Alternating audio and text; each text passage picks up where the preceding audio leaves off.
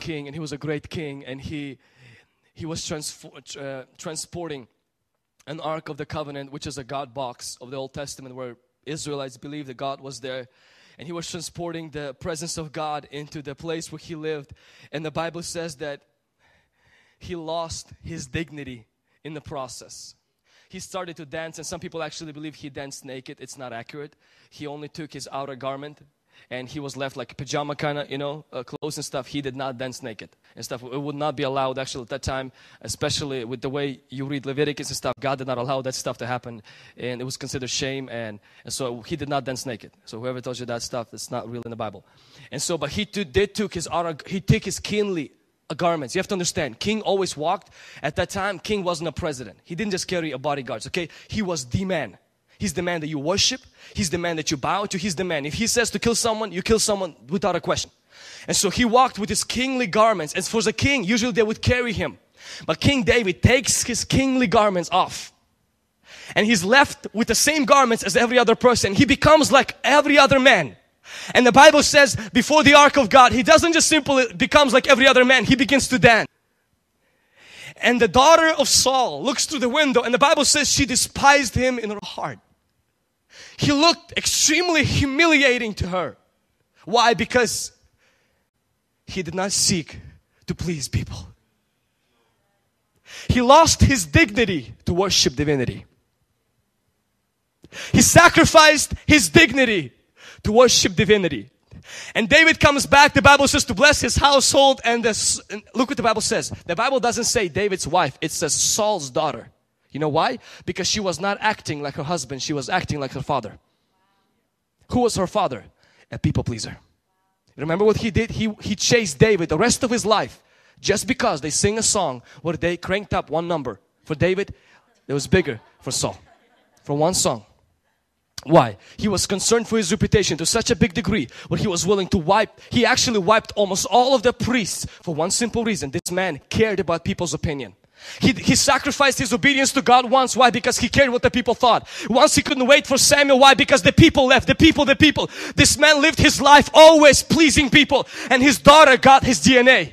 And even though being with David, she never learned that it's not about the people. It's God who puts you on the throne and it's God who can sustain you in the throne. And David comes to her and he says, listen, I'm going to be even more undignified for God. Why? Because my dignity, I am not going to worship my dignity. I'm going to worship His divinity.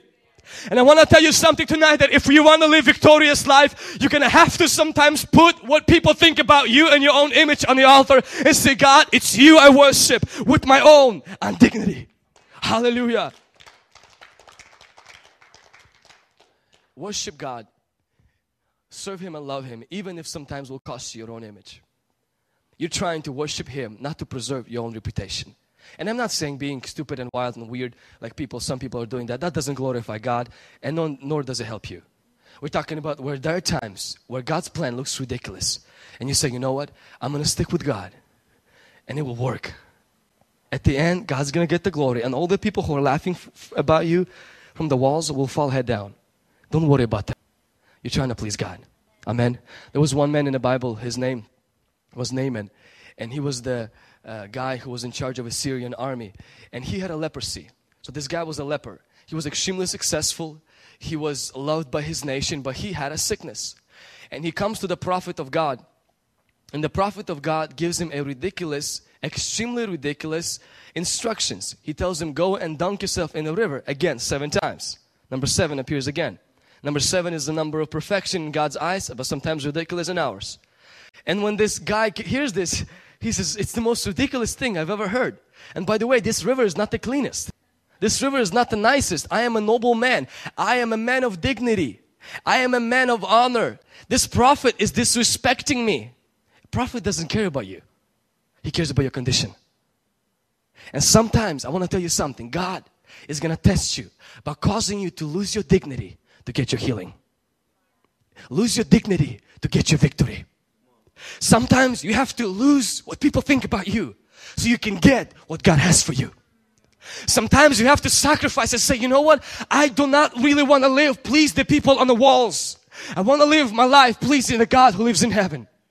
And if that means making those people wonder about me and saying, you know what, what is with this guy? He's living different today. What is with this person? They live, they're kind of weird. They don't do stuff that we do. You know what? I am fine. Why? Because God's plans might be ridiculous, but they're perfect in His eyes. And they work. Hallelujah. Hallelujah. And Naaman almost lost his healing trying to preserve his dignity. And I want to tell you something tonight. Do not lose your victory to preserve your dignity. There's a lot of drama queens walk in school and they want to be popular and cool, but they're defeated.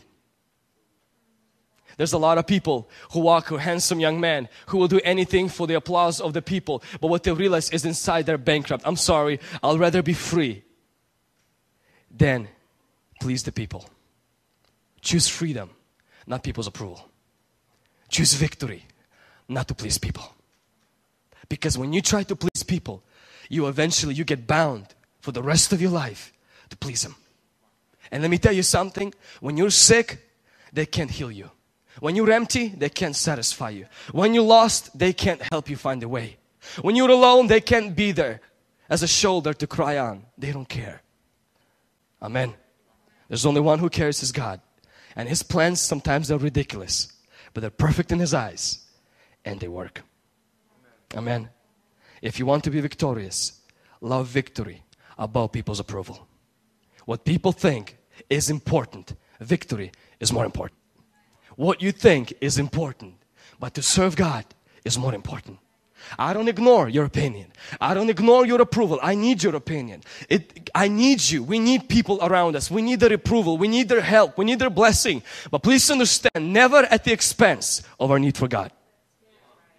And like I said, we're willing to lose our dignity to worship divinity. And sometimes during worship, some of you, you can't worship God without losing your dignity. Your worship is extremely dignified. And somehow you think that this is the way that honors God. And maybe it does honor God in such a way. But if you've been through stuff I've been through, you don't care about dignity. If you've been through stuff some people been through in here, and if you've been in places where it was only God that rescued you, you grew up in a Christian home, but you lost your religion and God found you, I'm sorry, but sometimes dignity is not worth worshiping. Sometimes it's God that's worthy of worship, not your dignity. Hallelujah.